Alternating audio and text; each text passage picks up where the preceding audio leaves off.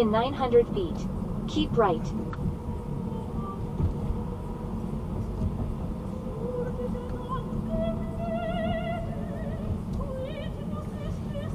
Keep right to West Historic US 66.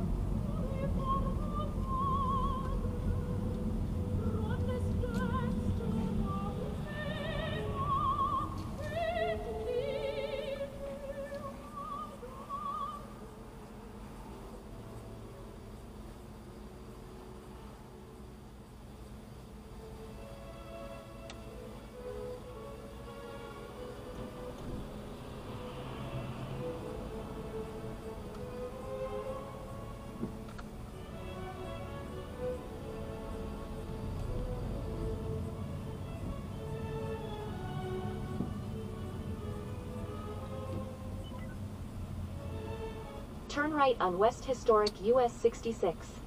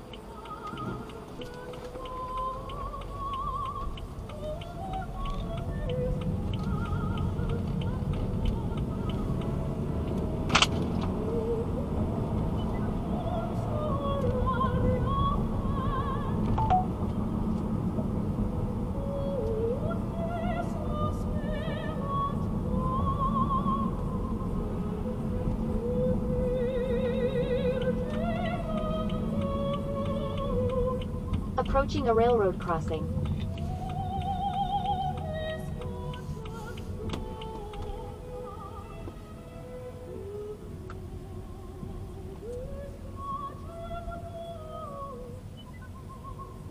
In 900 feet, turn left on State Route 118.